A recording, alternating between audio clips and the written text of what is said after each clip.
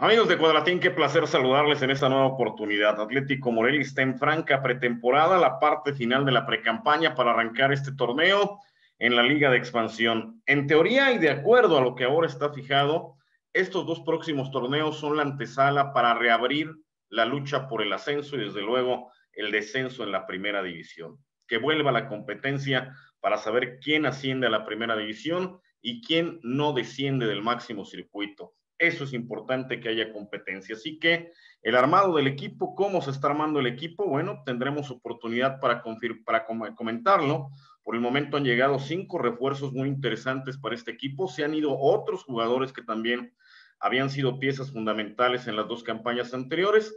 Pero bueno, todo esto forma parte de la dinámica con que un equipo de fútbol eh, enfrenta una campaña. Las altas y las bajas, se va gente importante gente importante porque hiciste un buen torneo, por eso no se van jugadores intrascendentes, hay el interés de otros clubes por ellos, porque quiere decir que algo bueno se hizo en la pasada campaña, pero también tiene que llegar gente importante y esta es la que ha llegado para el equipo de Morelia. Entre ellos, Carlos Guzmán, usted lo conoce, canterano de la casa, mundialista sub-17.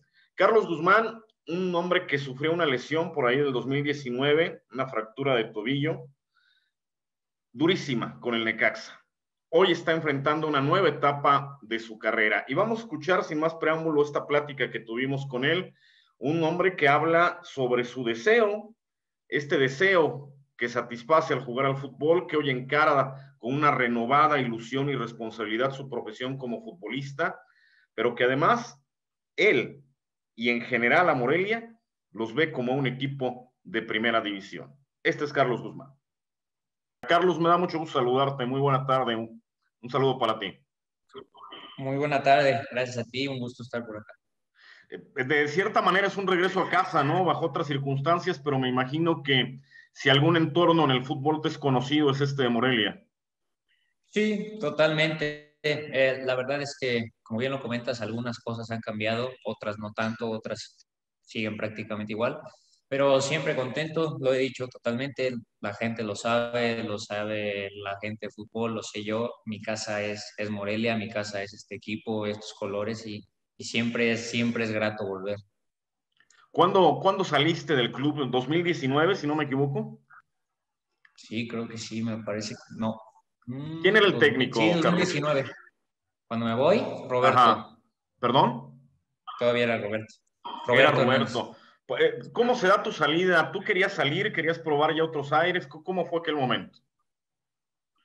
Mira, yo estaba, siempre he estado muy contento aquí. La verdad es que en ese entonces firmé una temporada muy buena donde jugué todos los minutos. Eh, eh, estaba pasando un, gran momento. Obviamente cuando las cosas te, salen bien, llamas la atención de diferentes equipos. Por ahí teníamos, teníamos varias propuestas. En ese momento el equipo necesitaba también esa cierta inversión porque al no ser equipo de los más populares, más grandes, por así decirlo, eh, tú sabes que en este aspecto del fútbol todo, todos los equipos necesitan esos ciertos ingresos. Eh, se dio la oportunidad, la verdad es que nos juntamos muy bien en ese entonces con Héctor Lara, con Álvaro Dávila, con el mismo Roberto, y bueno, creímos que se presentaba una, una gran oportunidad tanto para el club como, como para mí, como para mi carrera. En ese momento Necaxa lo fue, eh, y bueno, se tomó esa decisión. Tú arrancaste aquí en, Morelia en el 2011, si no mal recuerdo, y, ya con experiencia en algún momento en, la división de ascenso cuando estuviste en esa. ¿E, ¿Es correcto, Carlos? ¿Fue así tu proceso? Primero Morelia y después Nesa una temporada. Sí, correcto. ¿Cómo, ¿Cómo fue aquel proceso en esa para poder regresar a Morelia? No, pues Nesa era, era prácticamente lo mismo, era la filial, Nesa Morelia era, era, lo mismo, a veces me tocaba ir a jugar por allá, a veces jugaba acá, a veces salía a la banca, a veces jugaba en sub-20. Pues básicamente era, era una división más de aquí. Carlos, con, con 27 años de, de, edad, me parece que es, que es la edad que tienes, eh, Necaxa, Morelia, León, eh, Puebla, San Luis, el propio Nesa. es una experiencia ya grande en el fútbol y por supuesto no, no podemos dejar de lado el tema de selección nacional donde también estuviste. Sí, mira, creo que más allá de, de, basarte en, la edad o en el número que marca mi acta de nacimiento, eh, creo que me enfoco más en, los 10 años que estoy por cumplir en, en esta profesión. Eh, estoy muy cerca de cumplir 10 años el día que debuté. Eh, me ha tocado estar en varios lados, en diferentes categorías, en tanto en selecciones como, como en el fútbol profesional. Y me siento, me siento con muchas ganas. la verdad es que tengo una revancha importante. me siento contento de estar acá. Creo que tenemos un gran equipo. Eh, creo que tenemos que pelear el título, creo que esa es la ficha que, que le está faltando a esta institución y creo que, que, se está trabajando para ello, se está trabajando de buena manera. Eh, lo comenté en su momento con la gente de acá, si, si me llamó la atención el venir acá eh, es porque creo que estamos en el mejor equipo de la liga, de nuestra categoría y sin duda alguna eso hay que demostrarlo dentro de la cancha y hay que demostrarlo con títulos. entonces creo que que esta institución está trabajando bien. Eh, creo que es un equipo, una, una, institución, una ciudad, una afición que sin duda alguna es de primera división y que muy, muy, muy pronto, más pronto que tarde, va, va, va a estar de vuelta ahí. En la teoría, de acuerdo a lo que se ha hablado, Carlos, pues este sería el año futbolístico previo al ascenso. ¿Han platicado tus directivos, tu técnico de esto, de hacer un equipo durante dos torneos, durante un año, para preparar la lucha de, del ascenso cuando de acuerdo a lo que ahora está establecido, se vuelva a abrir el ascenso en la liga? Te diría que no, porque no puedes pensar en el B sin vivir el A. Eh, sin duda alguna, todo va encaminado a, sí, totalmente, por supuesto, es una, es una fecha o un número que creo que tanto Morelia como cualquiera de los equipos de nuestra categoría debe, debe de estarlo contemplando, pero sin duda alguna nosotros vamos, vamos por el presente. Eh, créeme que todo está enfocado y todos estamos pensando y trabajando en ser campeón. Ser campeón en este torneo, ser campeón en este torneo, en tener una, una, una buena participación, un buen torneo, poder levantar esa copa al final de, de, este torneo y después iremos viendo. Eh, como te digo, sin duda alguna es algo que muy en el fondo todos estamos considerando, que la institución lo tiene marcada esa fecha, pero estamos viendo el presente y el presente es querer ser campeón. ¿Cómo se da tu llegada a Morelia, eh, Carlos? ¿Regresas a préstamo? ¿Te compra la institución? ¿Cuál es tu estatus dentro del equipo? No, soy un jugador libre, llegué como jugador libre.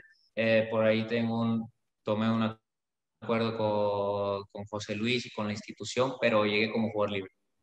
Eh, desde luego, con estos 10 años, con este bajaje, con esta experiencia, pues sabes que el tema de, de regresar a primera división es una posibilidad latente y me imagino que es un reto, ¿no? Que puede ser con Morelia o puede ser con otro club. Así como en un momento llamaste la atención de otros clubes estando aquí, pues puedes tener la vitrina para poder volver a regresar a Primera División.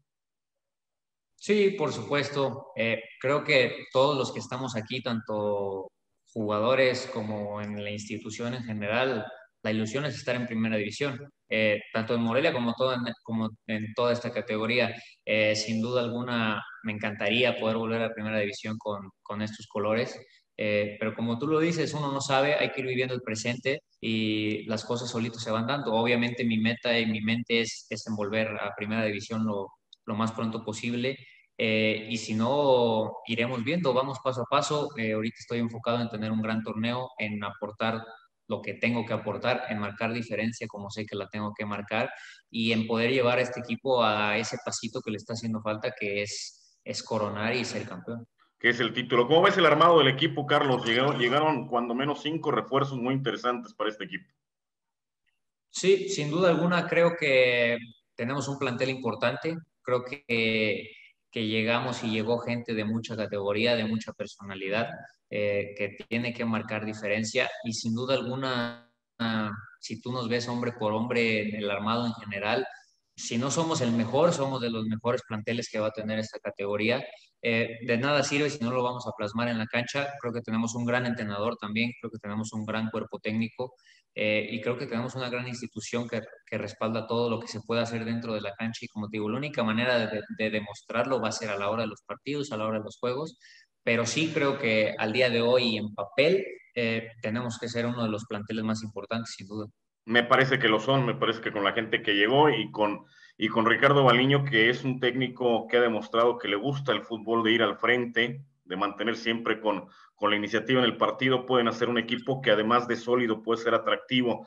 ¿Qué te dice la gente, Carlos? Yo creo que no perdiste nunca el contacto con el entorno del fútbol en Morelia pero ahora que estás aquí, ¿qué, qué, palpas de esta gente que está ansiosa de, de, tener ya de regreso la primera división? Quisiera que pasara todo rápido y, pues regresar ahí, ¿no? Que, que, no es tan fácil como se dice, pero pues es donde quiere estar la gente. la gente, como tú lo dices, está ansiosa, la veo, la veo metida, la veo bien. Creo que, que dentro de, de todos los males o problemas o que pudo haber causado el, el que, el que el equipo anterior se fuera, eh, creo que generó ese cierto, ese cierto arraigo en la gente, ¿sabes? Con sus colores, como que entró mucho la, la típica frase de uno no sabe lo que tiene hasta que lo pierde, y creo que la gente al ver perdido el fútbol aquí se dio cuenta de lo que realmente tenía. Eh, yo veo hoy a la gente muy metida, lo vi por ahí en la semifinal y en la final del torneo pasado. Por supuesto que, como te lo dije, todos pensamos en primera división, tanto nosotros como la afición, pero creo que hay que ir paso a paso, hay que disfrutar lo que tenemos. Hoy en día nos toca estar en la liga de expansión y hay que demostrar en liga de expansión que este equipo es de primera división. Yo creo que la gente que nos ve le queda claro que Carlos Guzmán, además de las cuestiones futbolísticas que tiene, mentalmente es un tipo que le va a aportar a este equipo y creo que parte de este aporte del Carlos Guzmán, que es hoy que regresa a Morelia, pues también son los malos momentos, ¿no? Esa lesión que viviste por ahí del 17 de febrero del, del, 19, me parece que hoy te replantea eh, la profesión que, tienes y, la forma de disfrutarla y de encararla.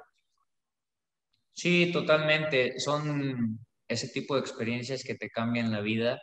Eh, sin duda alguna, eh, hay un antes y un después de no haber sido por esa lesión. No sé dónde estaría hoy en día.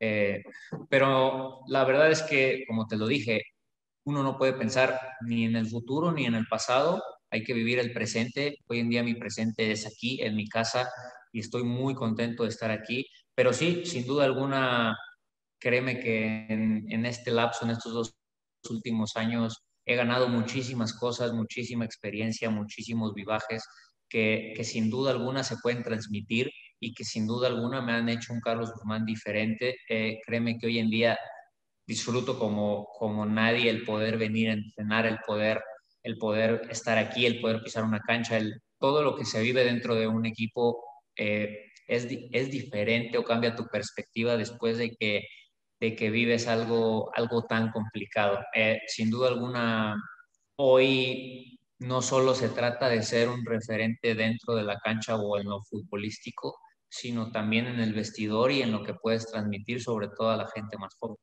Digo, de acuerdo al armado de la plantilla, y yo lo he platicado en anteriores espacios, Carlos, a gente como tú que ha llegado, otra gente que ya no está eh, en el aspecto de cancha, el técnico, la directiva, la propia plaza, este equipo está integrado por gente de primera división y tarde o temprano creo que esta plaza tendrá que regresar a primera división. Ojalá sea por la vía deportiva y ojalá sean ustedes quien le den el regreso al fútbol de primera división a Morelia. Sí, sin duda alguna eh, hay gente, o yo veo, como te digo, veo el plantel, veo la institución, veo el cuerpo técnico y te puedo decir que sin duda alguna podríamos ser un equipo de primera división sin ningún problema. Eh, ahora, como también, te lo, como también te lo comento, el único lugar donde podemos demostrar eso es, es en la cancha. De nada va a servir hablarlo o decírtelo aquí a ti frente a la cámara si después salimos a la cancha y no lo demostramos. Eh, sin duda alguna, creo que al día de hoy, donde nos encontramos en esta etapa de pretemporada, creo que todo se ha hecho muy bien, tanto la gente de oficina como la directiva, como como nosotros propios jugadores y cuerpo técnico dentro de la cancha. Creo que llevamos dos partidos muy interesantes, muy buenos, donde créeme que el equipo se ve muy metido en querer demostrar día con día, partido tras partido, que, que, somos de primera división, que somos un equipo que podría estar ahí sin ningún problema, que somos jugadores de primera división, que, somos, que son un cuerpo técnico de primera división. Eh, y eso hay que seguirlo demostrando, eso solo se va a demostrar día con día. Creo que eres tan bueno o tan malo como tu último partido. Entonces creo que este equipo no se va, no se va a permitir eh, eh, relajarse. Tenemos un, un, entrenador y un cuerpo técnico que, trabaja muy bien, que es muy intenso, que no nos permite la relajación. Y creo que van a ver un equipo que va a intentar demostrar día con día que está contemplado y que en el conjunto es un equipo que queremos demostrar que podríamos estar en primera división sin ningún problema.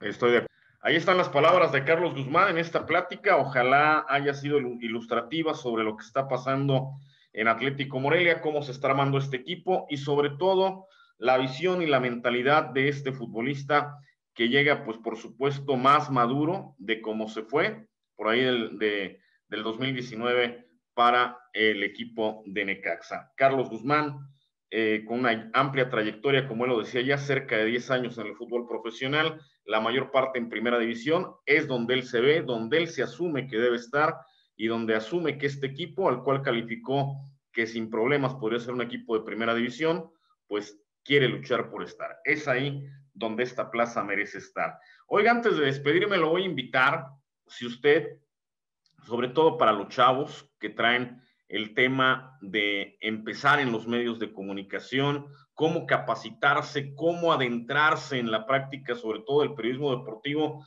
que es muy apasionante, pero que no hay mucha capacitación y mucha especialización, sobre todo la especialización es fundamental a nivel nacional. Mi querido amigo Guillermo Portillo ha lanzado un taller vía Zoom en línea, que es solamente el inicio de muchas dinámicas que en este sentido de la profesionalización va a tener Guillermo Portillo. Ahí está usted observando la publicidad ya en pantalla para que la cheque, los, el número de contacto y cómo obtener más información para que usted pueda adentrarse, sobre todo, insisto, los chavos que quieren meterse a esto en televisión, radio, medios digitales, entrevista, crónica y narración, eh, cámara y micrófono, la parte técnica que es importante analiza y elabora una estructura en reseña deportiva, modula la voz, trabaja con ella, es parte del temario que está lanzando mi amigo Guillermo Portillo en esta nueva experiencia para pues brindar profesionalización y la experiencia que tiene de muchos años, más o menos andamos en el mismo tiempo de 30 años en este negocio, algo sabe y lo sabe bien el señor Portillo de esto, así que si usted tiene interés en capacitarse, bueno, pues este es el primero de varios espacios que abrirá mi amigo Guillermo Portillo en este sentido Chéquelo, ahí está la información y ojalá les sea, por supuesto, de utilidad, sobre todo, insisto, a los chavos que quieren arrancar en este camino del periodismo deportivo. Amigos de Cuadratín, un abrazo, nos escuchamos en la próxima oportunidad. Hasta entonces. Sale jugando el Cruz Azul con Alejandro Vela, la presión es fuerte, tiene que apoyarse atrás, el propio Horacio Cervantes juega hacia el frente con Torrado, la deja comprometida con eh, Gonzalo Pineda, este sale bien, Alejandro Vela cruza el Ecuador de la.